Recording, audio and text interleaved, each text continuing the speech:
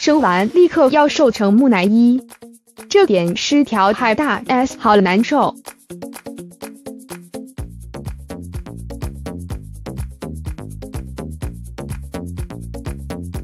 算是高龄产妇的大 S，好不容易度过第二胎生产危机，为了尽早恢复身体健康，她不敢再像第一胎一样疯狂减肥。没想到却被媒体拍到产后看似臃肿的照片，开始被大肆报道她的身材走样，连代言的瘦身食品也受到影响，引发退货潮。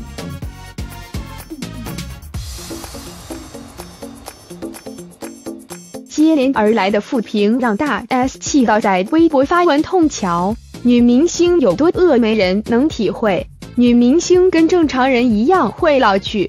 在巨大压力下，女明星还得生完孩子立刻瘦成木乃伊。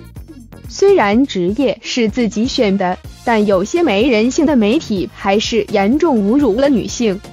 老娘要享受人生，女性们也别钻牛角尖。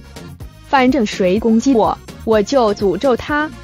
之后更索性几个月都不愿再公开露面。